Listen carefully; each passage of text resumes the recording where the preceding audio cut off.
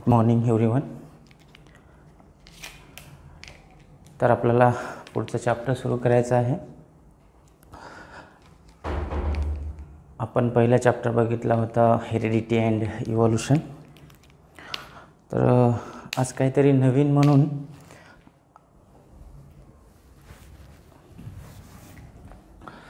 आपला जो हा क्लास असेल त्याला आपण हिंदीमधून करण्याचा प्रयत्न करू. ओके तो हमें अ, हमारे सेकंड टॉपिक को स्टार्ट करना है जिसका नाम है life processes in living organism part organisms part first ऐसे दो तरह के पार्ट्स हैं, दो पार्ट्स हैं हमारे लिए। ऑर्गेनिजम्स के अंदर कितनी तरह की लाइफ प्रोसेसेस ऑपरेट की जाती है, उन सब के बारे में हमें पढ़ना है। और इसमें से पार्ट फ़र्स्ट जो है हमारा सेकंड टॉपिक सेकंड चैप्टर जो है दिया गया है। तो इसके बारे में हम आज डिस्कस करेंगे। पहले इससे पहले कि हमें इस चैप्टर में जाना है उसके पहले पिछले साल के आधार पर कुछ सवाल पूछे गए हैं। हमारे किताब में कैन यू रिकॉल कहकर बताया गया है। तो वहाँ पूछा गया है कि पहला सवाल कि अ, किस तरह से फ़ूड स्टफ्स जो होते हैं उनमें जो न्यूट्रिएंट्स होते हैं किस तरह से हमारे बॉडी को यूज़फुल होते हैं। तो अ, हमें बताना है कि कैसे क्या होता है एक्चुअली उस फ़ूड स्टफ़ से जो न्यूट्रिएंट्स हमें मिलते हैं उनका क्या यूज़ है हमारे बॉडी में? फॉर एग्ज़ाम्पल हम बात करते हैं फॉर एग्ज़ाम्पल मान लीजिए हमने कार्बोहाइड्रेट के फॉर्म में कोई फ़ूड कंज्यूम किया हो ओके कार्बोहाइड्रेट कंज्यूम किया हो अ, हम देखते हैं कि नॉर्मली कॉमनली क्या होता है कि हमारा जो डाइजेस्टिव ट्रैक्ट है और डाइजेस्टिव सिस्टम है, उसमें इसका जो है डाइजेशन कंप्लीट होता है up to the small intestine तो वहाँ जब डाइजेशन कंप्लीट होगा तो क्या होगा? वहाँ पर क्या बनेगा? तो वहाँ पर जो ये कॉम्प्लेक्स पॉलीसैकेरिड है, इसका कन्वर्जन होगा मोनोसैकेरिड में, यानी कि मोनोमर में, जो कि ग्लूकोज है. तो glucose act as a nutrient यहाँ पर ग्लूकोज क्या क्या बोलकर एक्ट होगा यहाँ पर? न्यूट्रिएंट एज ए न्यूट्रिएंट काम करेगा। और ग्लूकोज से, यानी कि इस न्यूट्रिएंट से हम क्या करेंगे? हमारे बॉडी में जो प्रोसेसेस होते हैं लाइक हमारे पास सेलुलर रेस्पिरेशन है। सेलुलर रेस्पिरेशन रेस्पिरेशन हमारे पास दो तरह का होता है। पहला तो होगा एक्सटर्नल रेस्पिरेशन जिसे हम बॉडी रेस्पिरेशन कहेंगे, जिसमें हम ऑक्सीजन जो है सराउंडिंग से अपटेक करेंगे और उसी उसी तरह से जो जिस, जैसे हमने ऑक्सीजन लिया, उसी तरह से CO2 को जो है, उसी, यानी कि हम रेस्पिरेटरी सिस्टम से यानी कि नॉस्ट्रिल्स या माउथ के थ्रू CO2 को रिलीज़ कर देंगे एटमॉस्फेयर में। यानी कि सिंपली हम कहें, respiration is of two type, external respiration in which inhalation of O2 and exhalation of CO2 is occur uh, second type of respiration is cellular respiration or internal respiration we can say. So उसमें क्या होता है कि uh, जो हम in the form of carbohydrate जो food consume किया था हमने उससे जो ग्लूकोज मॉलिक्यूल मिलेंगे यानी कि न्यूट्रिएंट्स मिल रहे हैं उनको अ, उनको ऑक्सीडाइज करके यानी कि उनसे हम क्या प्रोड्यूस करते हैं with the help of cellular respiration A produce करते हैं यानी कि एनर्जी प्रोड्यूस करते हैं। तो इस तरह से फ़ूड स्टफ़ यानी कि फ़ूड फ़ूड जो हम कंज्यूम कर रहे हैं, उसका और उसके अंदर जो न्यूट्रिएंट्स हैं, उनका यूज़ जो है, इस तरह से हमारे बॉडी के लिए होता है। तो इसके बाद जो सेकंड क्वेश्चन पूछा गया है what is the importance of balanced diet तो बैलेंस्ड बैलेंस डाइट क्यों चाहिए? डाइट तो हम जानते हैं कि हम कोई भी चीज़ अगर लिमिट के ऊपर खा लेते हैं लिमिट से ज़्यादा कंज्यूम कर लेंगे तो उसका साइड इफ़ेक्ट दिखेगा। हमारे लिए उसका एडवर्स इफ़ेक्ट दिखना दिखना शुरू हो जाएगा। यानी कि हम कहेंगे कोई भी फ़ूड फॉर एग्जांपल हमने, मान लीजिए हमने लिपिड्स ज़्यादा खा लिए, यानी कि cholesterol containing highly cholesterol containing food अगर हम कंज्यूम करेंगे, मान लीजिए हम मीट ज़्यादा खा रहे हैं ओके रेगुलरली हम मीट खाते हैं और वो ज़्यादा से ज़्यादा, हमारे लिमिट से ज़्यादा खा रहे हैं। तो होगा क्या? उसका कोलेस्ट्रॉल जो है, उसके अंदर से जो कोलेस्ट्रॉल बाहर आएगा तो वो जो कोलेस्ट्रॉल है, वो एक्यूमुलेट होगा। हमारे बॉडी में उसका जो है स्टोरेज होगा। इस तरह से बहुत सारे एडवर्स इफ़ेक्ट है। मान लो हमने ग्लूकोज ज़्यादा खा लिया तो शुगर लेवल बढ़ने का चांस भी हमारे लिए होता है। तो हमारी बॉडी को हेल्दी रखने के लिए हम कहेंगे बैलेंस्ड डाइट का बहुत ज़रूरी होता है। तो हम जो कोई, जो कुछ भी फ़ूड कंज्यूम करेंगे, वो हमेशा लिमिटेड अमाउंट में बैलेंस्ड अमाउंट में ही कंज्यूम करना चाहिए। अगला सवाल जो है which which different functions are performed by our muscles तो बॉडी के अंदर जैसे कि हमें पता है मसल्स होते हैं मसल्स जो है, हमने देखा था कि तीन तरह के मसल्स ह्यूमन बॉडी में पाए जाते हैं। कौन से कौन से? वो है स्मूथ मसल्स स्मूथ मसल्स एक।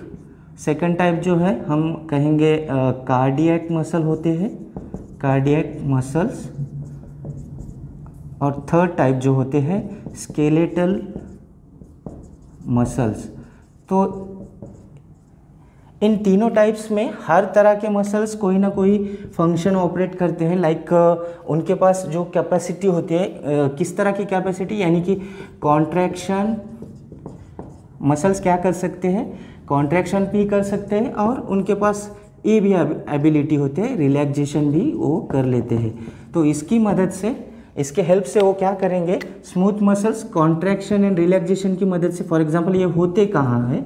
तो ये ब्लड वेसल्स में पाए जाते हैं। ब्लड वेसल्स के मसल्स इंटेस्टाइन्स के मसल्स तो वहाँ पर ये कॉन्ट्रैक्शन एंड रिलैक्सेशन की हेल्प से क्या करेंगे? उसके अंदर जो भी हम न्यूट्रिएंट या जो भी सब्सटेंस फ्लो कर रहा है तो उसको इजीली फ्लो करने में हेल्प करेंगे।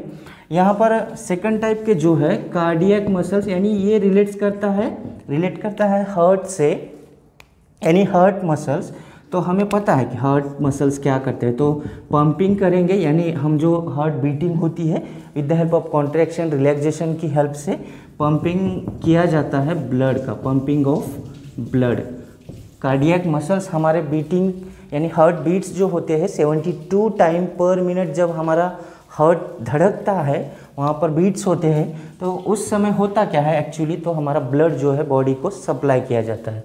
ये फ़ंक्शन है इन टाइप इस टाइप के मसल्स का। तो स्केलेटल मसल्स भी होते हैं। स्केलेटल मसल्स यानी हमारे शरीर को, हमारे बॉडी को जो है मूवमेंट करने में हेल्प करेंगे तो हम कहेंगे they helps in a movement of body इस तरह से हम देख रहे हैं कि तीनों तरह के मसल्स हमारे यहाँ कुछ ना कुछ जो इम्पोर्टेंस कहेंगे इम्पोर्टेंट फ़ंक्शंस जो है ऑपरेट कर रहे हैं। तो ये है हमारा तीसरा तीसरा जवाब, यानी कि तीसरे सवाल का जवाब। तो मसल्स का रोल हमारे बॉडी में क्या होता है? सिंपली हम कह सकते हैं movement of our body and pumping of blood as well as many type of contraction and relaxation type of movements so this is the third question now what is the importance of digestive juices तो जो हमारा fourth question यहाँ पर पूछा गया है digestive uh, juices जो होते हैं डाइजेस्टिव जूसेस यानी uh, जो एंजाइम्स प्रोड्यूस किए जाते हैं जूसेस हमारे डाइजेस्टिव uh, सिस्टम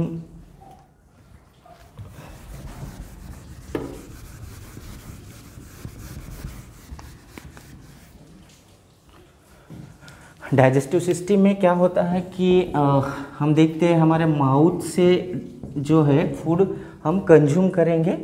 ये जो फ़ूड है हम कंज्यूम करेंगे थ्रू द माउथ एंड वहाँ पर माउथ में एक तरह का सब्सटेंस होता है स्टिकी सब्सटेंस जिसे हम कहेंगे सलाइवा सलाइवा कंटेन सलाइवरी उसे कहेंगे सलाइवरी अमाइलेज एक काइंड ऑफ़ एंजाइम ओके ये क्या होता है? एक एक तरह का एंजाइम है जो हमारे फ़ूड को माउथ से लेकर ही डाइजेस्ट करना शुरू कर देता है। तो हमारा डाइजेशन शुरू हो जाता है यहीं से माउथ से। तो ऐसा एंजाइम जो कि फ़ूड को ब्रेक डाउन करने में हेल्प कर रहा है तो उसी तरह से जब वो आगे जाएगा फ़ूड जो कि पार्शियली ब्रेक डाउन है, यहाँ पर माउथ में हम उसे चेविंग की हेल्प से क्या करते हैं, उसे बारीक टुकड़ों में बांट देते हैं। फिर उसका फ्लो होता है with the help of oesophagus में जाएगा, फिर जाएगा हमारे स्टमक में जाएगा, फिर जाएगा वो स्मॉल इंटेस्टाइन में। तो इस तरह से जब वो ट्रांसफ़र ट्रांसफ़र होता जाएगा ट्रांसपोर्ट होता जाएगा उसका, तब क्या होगा, उसका डाइजेशन जारी रहेगा। डाइजेशन होते समय ये कुछ डाइजेस्टिव जूसेस प्रोड्यूस किए जाते हैं बाय ऑर्गन्स लाइक लीवर है हमारे पास पैंक्रियाज है पैंक्रिया है। तो लीवर क्या करेगा? बाइल जूसेस प्रोड्यूस करेगा जो डाइजेशन में मदद करेंगे हेल्प करेंगे। Okay okay? ये भी मदद करने हेल्प करने वाले हैं। और ये पैंक्रिया जो है एंजाइम्स प्रोड्यूस करेंगे लाइक ट्रिप्सिन पेप्सिन टाइप के। ये भी हमारे लिए यूज़फुल है during the process of digestion तो आ, किसी तरह का भी फ़ूड हो चाहे वो लिपिड का हो या यानी हम कहेंगे फैट हो आ, या हो प्रोटीन हो या तो फिर वो कार्बोहाइड्रेट हो। तीनों तरह के फ़ूड सब्सटेंस को डाइजेस्ट करने में इन सारे एंजाइम्स का जो है यहाँ पर रोल होता है। तो डाइजेस्टिव जूसेस का ये फ़ंक्शन है during the process of digestion next जो क्वेश्चन है which system is is involve in the removal of waste material यानी कि uh, पूछा गया है कि हमारे बॉडी के अंदर कौन सी सिस्टम होती है जो हमारे बॉडी से वेस्ट को रिमूव करने में हेल्प करेगी। वेस्ट मटेरियल जो है, हमने पिछले साल पढ़ा था कि यूरिया के फॉर्म में होता है यूरिक के, यूरिक एसिड के फॉर्म में भी प्रोड्यूस किया जाता है, या तो फिर अमोनिया के फॉर्म में भी उसका प्रोडक्शन हो जाता है। तो ये जो ब्लड में मिक्स किए गए हैं, ये ये कहाँ कहाँ पर मिलेंगे हमको? हमारे ब्लड में मिलेंगे। ब्लड में जो ये सारे के सारे वेस्ट प्रोडक्ट होंगे तो फिर हम ज़ाहिर सी बात है, वो हमारे बॉडी के लिए हार्मफुल इफ़ेक्ट बताएँगे। वहाँ पर हार्मफुल इफ़ेक्ट्स दिखेंगे। तो हमारे पास जो है एक्सक्रीटरी सिस्टम होती है। आपको पता है एक्सक्रीटरी सिस्टम जिसमें पैर ऑफ़ किडनीज होते हैं, जो क्या करेंगे ब्लड को blood containing blood containing this three kind of waste material इनको फ़िल्टर करेंगे। किडनीज क्या करेंगे? इनको फ़िल्टर करेंगे। फ़िल्टर करने के बाद जो प्योर ब्लड है, उसको वापस से हमारे ब्लड यानी कि सर्कुलेटरी सिस्टम में वापस भेज देंगे। और जो वेस्ट है, उसे हम यूरिनेशन के थ्रू बाहर की ओर निकाल देंगे। यानी कि removal of waste material is done by the system of excretory system. That that system is called excretory system. Excrete the waste product. And uh, कौन होते हैं तो वो किडनीज है जो कि हमारे लिए फिल्ट्रेशन का काम करते हैं। हमारे ब्लड के फिल्ट्रेशन का काम किडनीज जो है पूरा कर देगी। इसके बाद में आई थिंक आपने आ, अपना अगला सवाल जो है वो पूछा गया है कि ये सर्कुलेटरी सिस्टम जो होती है किस तरह से आ, हमारे बॉडी में यूज़फुल है during the production of energy तो क्या सर्कुलेटरी सिस्टम का कोई रिलेशन है एनर्जी प्रोडक्शन से? तो इस बात का भी uh, हमें जवाब देना है। Uh, तो हमको पता है कि circulatory circulatory system circulatory system के बारे में हमने भी पढ़ा था कि इसमें कौन कौन होते हैं। तो पहले तो बात आएगी यहाँ पर हार्ट की। उसके पार्ट्स जो है, अगर हम सर्कुलेटरी सिस्टम का अगर कोई कंपा पार्ट्स पढ़ेंगे तो हार्ट आएँगे उसमें। हार्ट आएगा, फिर आएँगे हमारे blood vessels okay blood vessels में आर्टरीज उसके बाद में आएँगे कैपिलरीज और आएँगे वेंस ओके okay? और ब्लड वेसल में जो फ्लूइड पार्ट होता है वो ब्लड है। तो ये ये तीन जो है कंपा एक पार्ट ऑफ़ सर्कुलेटरी सिस्टम हम कहेंगे इनको। तो इनकी हेल्प से अब क्या होता है आपको पता है कि आ, हमने डाइजेशन देखा है। मान लीजिए यहाँ डाइजेशन कंप्लीट हुआ। ये कहाँ पर? स्मॉल इंटेस्टाइन में और बन गया ग्लूकोज ओके और तो ग्लूकोज कहाँ जाता है? हमको पता है कि वो तो जाएगा पहले ब्लड वेसल में, ये रहा ब्लड वेसल। तो यहाँ ग्लूकोज डंप कर दिया गया, यहाँ पर ग्लूकोज आ गया। तो ये ग्लूकोज जो है, अब हमको पता है कि ब्लड में शुगर बढ़ गया। वो क्या करेगा कि ब्लड का सर्कुलेशन कंटिन्यूसली होता रहता है। तो सर्कुलेशन यानी कोई भी substance with the help of this blood one place to another place तक उसको ट्रांसफ़र करना ट्रांसफ़र करना, यही तो यही मतलब होता है सर्कुलेशन का। सर्कुलेट किया जाता है किसी सब्सटेंस को। तो हार्ट पहले पहले तो हार्ट जो है ब्लड को पंप करेगा। उसमें जो भी न्यूट्रिएंट्स पड़े हुए होंगे, यानी कि वहाँ क्या क्या हो सकता है? मान लीजिए हमने ग्लूकोज की जगह हमने प्रोटीन्स भी खाए हैं तो उससे अमाइनो एसिड्स जो बनेंगे, वो भी यहाँ होंगे। हमने सपोज़ कीजिए हमने फैट फैट कंज्यूम किया तो फैटी एसिड्स भी बनेंगे। यानी ये सब सब्सटेंस एनर्जी प्रोडक्शन के यूज़फुल है। इनका इनका यूज़ कहाँ किया जाता है? For the purpose of energy production तो इनको ले जाना है हर सेल के पास जहाँ जहाँ एनर्जी प्रोड्यूस हो रही है जहाँ जहाँ सेलुलर रेस्पिरेशन हो रहा है। तो वहाँ जाकर ये ग्लूकोज ग्लूकोज कॉमनली जो है, ग्लूकोज जो है एनर्जी प्रोडक्शन में हेल्प करता है। तो इस तरह से सर्कुलेटरी सिस्टम यूज़फुल है for the production of energy क्योंकि बिना सर्कुलेशन के ग्लूकोज तो किसी साइट को जाएगा नहीं। अगर ग्लूकोज वहाँ नहीं जाएगा तो वहाँ एनर्जी प्रोड्यूस करने के लिए कोई सोर्स नहीं होगा। तो इस तरह से सर्कुलेटरी सिस्टम इन्वॉल्व है in the process of energy production तो इन सारी प्रोसेसेस को कंट्रोल्ड मैनर में किस तरह से ऑपरेट किया जाता है? हमें पता है कि हमारे पास कंट्रोल एंड कोऑर्डिनेशन टाइप की एक आ, हमने पिछले साल पढ़ा था कंट्रोल एंड कोऑर्डिनेशन मैनर में सबको ऑपरेट किया जाता है। तो सारी की सारी प्रोसेसेस कौन सी कौन सी कहेंगे हम? यानी कि रेस्पिरेशन रेस्पिरेशन प्रोसेस है, उसके बाद डाइजेशन भी ऑपरेट किया जाता है कंटिन्यूसली वहाँ पर जो ग्लूकोज बनेगा उसको ब्लड में डंप किया जाएगा। ब्लड में डंप करने के बाद वहाँ से फ्लो करना, यानी कि सर्कुलेटरी सिस्टम का फ़ंक्शन आ गया।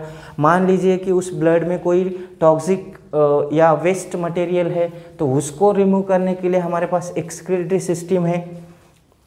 यानी एक्सक्रेटरी सिस्टम का भी उसी समय एक ही साथ सब के सब सिस्टम्स को ऑपरेट किया जाता है इसी तरह से कंट्रोल्ड मैनर में। तो ये तो थे हमारे कुछ सवाल और उनके जवाब। तो इस चैप्टर के स्टार्टिंग में ये जो क्वेश्चंस दिए गए हैं तो इनके आंसर्स भी आपके नोटबुक में होने चाहिए। आप लिख लेना ये सब जो मैंने आपको बताए हैं सारे के सारे। तो चलते हैं अब हमारे इस मेन टॉपिक जो कि life processes in living organism में। तो जैसा कि बताया गया है लाइफ प्रोसेसेस होती है बॉडी बॉडी में। किसी भी ऑर्गेनिज्म बहुत सारे प्रोसेसेस होते हैं। तो बेसिकली हमें यहाँ देखना है रेस्पिरेशन के बारे में। यहाँ पर हम देखेंगे रेस्पिरेशन रेस्पिरेशन के जो टाइप्स मैंने बताए थे external as well as internal type का रेस्पिरेशन होता है। तो वो कैसे होता है, कहाँ ऑपरेट किया जाता है, फिर रेस्पिरेशन क्या आ, सिर्फ़ हवा यानी कि ऑक्सीजन लेना और सी छोड़ना इतने तक ही सीमित है या तो फिर उस ऑक्सीजन की हेल्प से और भी कुछ काम होते हैं हमारे शरीर में वो भी हमें इस चैप्टर में देखना है। तो आ, हम मान लीजिए कोई भी सब्सटेंस खाते हैं तो उसका पर्पज़ होता है कि आ, हमें एनर्जी मिले चाहे वो कार्बोहाइड्रेट हो चाहे वो फैट हो, यानी कि लिपिड्स हो चाहे वो क्यों ना अल्कोहल क्यों ना हो या प्रोटीन क्यों ना हो तो इन सारे के सारे जो सब्सटेंस होते हैं तो ये सब के सब हमें एनर्जी प्रोड्यूस करने के लिए यूज़फुल होते हैं। ये हम जिस फॉर्म में कंज्यूम करेंगे, उसी से हम एनर्जी प्रोड्यूस करते हैं। तो कभी कभी होता क्या है कि ग्लूकोज का फॉर्म अगर हमारे बॉडी में कम कम पड़ रहा है। तो हमारे अंदर जो सेलुलर रेस्पिरेशन होता है, वहाँ पर कभी कभी अमाइनो एसिड्स की हेल्प से भी ग्लूकोज बनाया जाता है। That is the process of gluconeogenesis ऐसे बहुत सारे प्रोसेसेस होते हैं तो हम इस इस चैप्टर में रेस्पिरेशन के बारे में पढ़ने वाले हैं, जो कि हम अगले नेक्स्ट वीडियो में हम उसके बारे में जानकारी लेने वाले हैं। तो इसको फिर से एक बार आप नोटबुक में नोट डाउन कर लीजिए। हाँ और अगर आपको इस आज की जो क्लास हुई है, हमारी थोड़ी सी डिफरेंट काइंड कहकर बोलिए कि हमने हिंदी में जो ट्राई किया है, अगर आपको इस लैंग्वेज की वजह से कुछ पॉइंट्स समझ में नहीं आ रहे हैं तो आप हमारे ग्रुप पर बोल दीजिए, हम फिर से हमारे मराठी में रिकॉर्ड की कर देंगे। तो अगर हिंदी में समझ में आ रहा है तो कोई बात नहीं हम कंटिन्यू कर देंगे ओके आ, तुम तुम लोग बोर ना हो इसी वजह से हमने ये आ, कुछ अलग ट्राई किया है ताकि आपको वीडियोस देखने में कोई दिक्कत ना हो ओके थैंक यू